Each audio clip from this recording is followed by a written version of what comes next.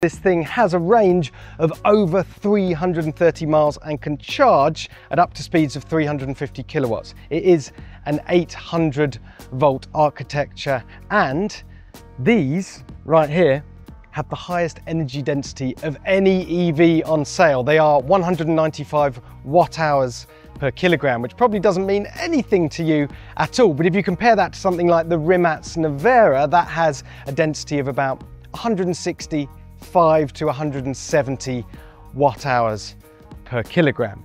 The other interesting thing about this battery is you have connectors at either end. So you don't have to have huge wires trailing up and down the car. You can just connect this end of the battery to the rear axle, the front end to the battery to the front axle.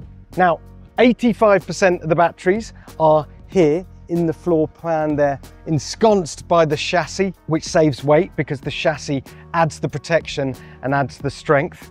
85% um, of them are as low as possible in the floor pan, but you'll notice a little jump up here.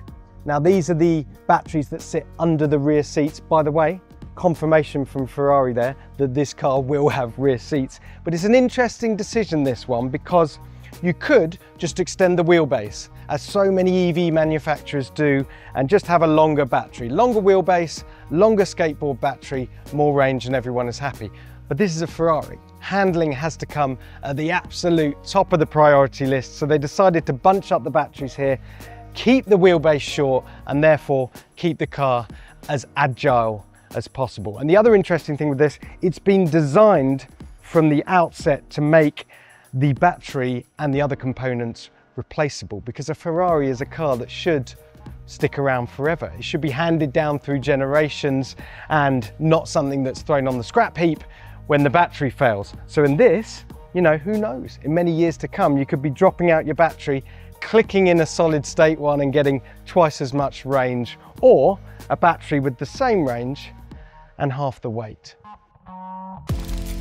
Focusing on the whole chassis right now, the, uh, the chassis and the body is made from 75% recycled aluminium, which is quite impressive and saves around 6.7 tons of CO2 per car in the manufacturing process.